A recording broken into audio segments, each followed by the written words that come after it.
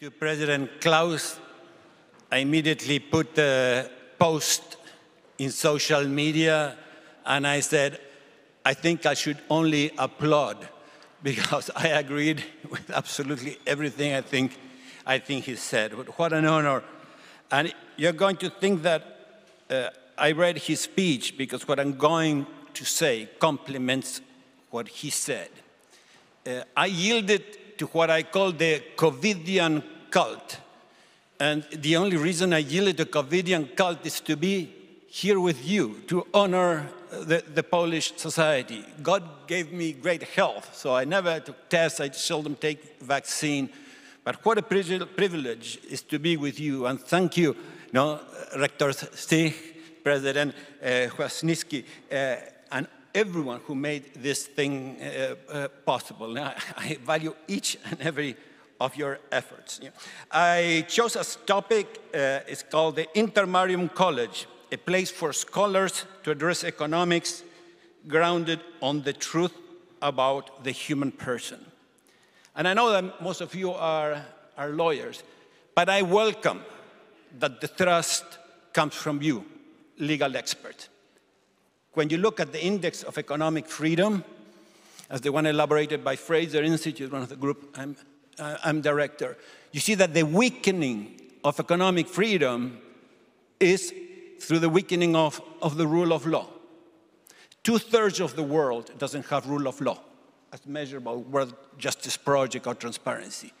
So you cannot prepare, pretend that we live in a world of perfect freedom. So we wish you luck uh, on all this endeavor. And just, you know, let you know, my life has been, especially the last 30, 40 years, I spent my life with two types of friends. One of them uh, is the pro-free market economist. You know, they argue, you know, we liberate the economy, all the problems will disappear, including, including family problems. But then it's the other, the values and, and religion side, you know, which they say, well, just just pray, build good families, and all the problems will disappear, even the economic problem. Well, as an economist and a person who tries to give, live a good family life, I think we need both good economics and good families.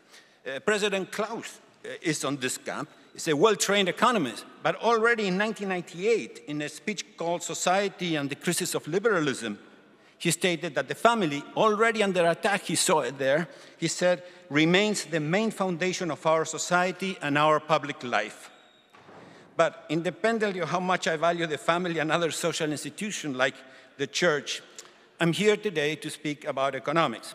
Since the writings of the early Greeks uh, and the Romans, who reflected on economics like Xenophon or Cicero, to at least the great late scholastics, the main questions that everyone who wrote about economics and social science was what is good, what is just. But eh, also, let's not forget that Adam Smith, he focused on wealth. I carry Adam Smith in my flag, eh, but he was a moral philosopher. Now, I have written a book translated here in Poland by, eh, by Pafere, where I show that except for their position on interest rates, the great moralists, the great Catholic moralists, were the true founders of economic science. They were, by the way, the great champions of human rights. Francisco de Vitoria and all his school, uh, famous for international law and human rights. But they also were great champions of economic freedom, private property, and freedom to trade. After that period, uh, political economic questions started to shift, you know, uh, from what is just, what is good, to what benefits the prince or the rulers of a nation? And finally, after Adam Smith, the question began, what is more efficient, what creates more wealth? But agreeing with President Klaus, if you read The Economist or other newspapers from the establishment today, it seems that the dominant question today is how can we make everyone obey Brussels, the international financial organizations, and be a willing player in the great reset of the World Economic Forum. Now, the previous question about what is good, what is just, or what drives makes a nation big are still important. And you see it, the great debates about inequality you know, and putting America first, or, or, or, or Poland first. They are important.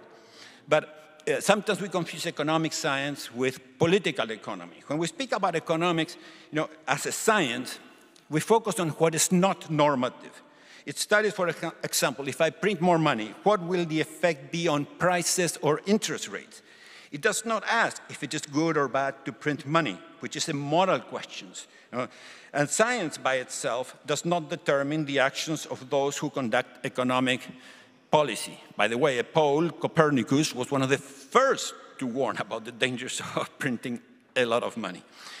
Um, economic ministers and politicians are free to try different economic policies, but they are not free to create economic science and defy the laws of economics. Uh, they are not free to create the results. I see economic laws, economic science, as part of the natural order. Stabilizing all prices, planning the entire economy, something that most communists abandon, is like trying to stabilize uh, the seas and avoid waves. It can't be done. But you can, however, like in seaport, create protected areas that you think, you think that are important and avoid the waves in some, in some areas. I'm still in favor of maximizing economic freedom, respecting the property rights of all economic actors, the non-criminal economic actors, all those who play by the rules. But through my years studying and working with economics from around the globe, I was able to see a huge variety of level of government intervention in countries that are regarded as the freest in the world. With different mixtures of private, public sector interactions, many civil societies have been able to eliminate or radically reduce extreme poverty. But it's not up to me, it's up to you to decide what right mixture should be.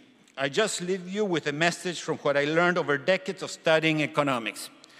Without a high degree of respect of private property, which requires a framework of monetary stability, freedom to trade, and low regulatory barriers to start and engage in business, I think it will be impossible to protect the cultural values that we share. When we started Acton Institute in 1990, we saw a huge void in the area of economics, and few people were recognizing the valuable role of the entrepreneur. But no, they didn't realize the creative potential of the human person and that you have to respect the right of free initiative.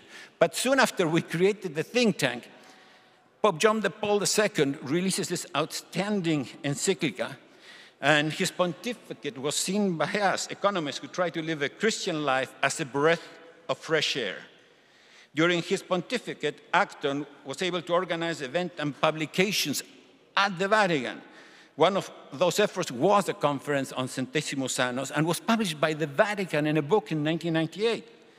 Uh, in that book, the founder of Acton Institute, Father Robert Sirico, wrote, a clear understanding of what is meant by a market economy is rarely grasped in all its dimensions, even by economic actors and economists. The market, even while possessing practical virtues, remains essentially morally neutral and thus in need of a broader moral framework in which to operate in a manner that could be considered ethical. And I underline his next sentence, it would be a great mistake to think of the market as possessing an ethic in itself.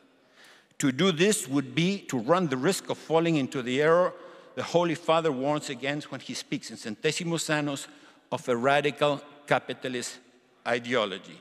He continues in that conference and explained, during certain periods, the church has been driven to strong criticism of what was construed to be the liberal society, partly because some in the church, along some liberal economists, old and new, conflated the theories of economic liberalism with moral libertinism, viewing them as one and the same and as mutually reinforcing. It seems to me today that today in both sides, the libertarian and the church, we find people with the same attitude. There are some libertarians who believe economic freedom will show us what we should do. And that each, also, that each human person should be able to define reality, even the reality about themselves.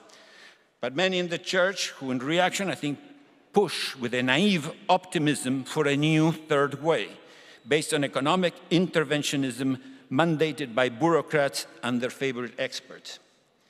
Uh, having been born in Argentina and living my first three decades of my life there, you have to understand my negative views of economic interventionism.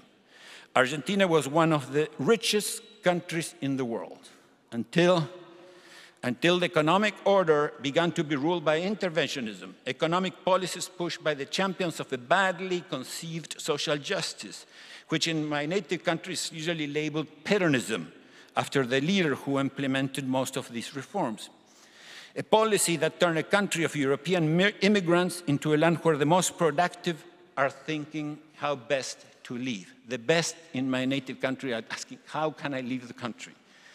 My confidence in the importance of economic freedom has not waned, uh, although well-intentioned critics argue that we live in a world of economic liberalism. Since we keep measurements, we never, we never had such high level of taxation in relation to the gross national product than today, as measured in the OECD. That's a group of almost the top 40 countries. Never we had such high taxation. Government spending is exploding and monetary intervention is so little restrained. Many of the failures I think you see today are not failures of economic liberalism, but of neostatism.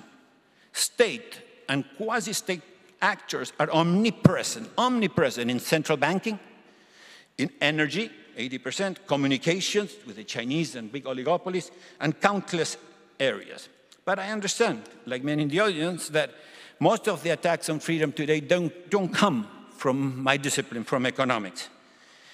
Free speech in today's media, academic, and corporate worlds is under attack. You know, it's the so-called cancel culture. But no one gets canceled in university for being in favor of more or less money printing promote higher taxes or lower taxes, or different ideas about free or managed trade. But if you start speaking about proven values, you know, like that lead to successful and flourishing lives, like traditional marriage, like freedom of association, like respecting the sacredness of human life in, in the womb, or, or express concern for illegal immigration, then you run the risk, the risk of losing your academic or corporate job in our case, think tanks who depend on donations, uh, we run the risk of losing, losing donors. You get canceled by speaking about values, not by speaking in favor of economic freedom. Many talented social scientists are afraid and do not have the courage to study the economic and social implications of living according to different values, Christian values. One of the best scholars on the family, Pat Fagan, correctly points out that in addition to the fear of being canceled in influential academic circles, others who experience you know, divorce or played some role in the killing of life in the womb avoid studying these topics for, for personal uh, reasons, perhaps for, for fearing of being confronted with the pain that they have caused others and perhaps themselves. At Acton Institute, we try to give a voice and disseminate the works of scholars such as Brad Wilcox at the University of Virginia, who are superb social scientists and do not neglect these important topics.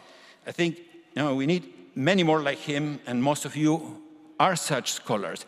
Um, I will send information June 23, 24. Acton is not a university, but we have a program called Acton University over several days. Uh, we usually have people from more than 80 countries. Last year we had almost 3,000 people attend some of those programs. I should be able to get you scholarships because I think we are an ideal partner of you. But let me conclude now. You know, um, with a, I want to call your college to be a house for these courageous academics who will be part and lead a new scholastic movement that without neglecting the truth about economics will not be afraid to analyze life family, religion, but with the utmost detail and respect for the new scientific discoveries and the truth about the human person and human freedom. It is my hope that this Intermarium College, which you are starting, will continue to attract and nurture such scholars. You confronted the Swedish invasions. You resisted the totalitarian of the Nazis and the Russians. Now you have the difficult topic of confronting the totalitarianism of the politically correct. You can do it. Roll on. Thank you.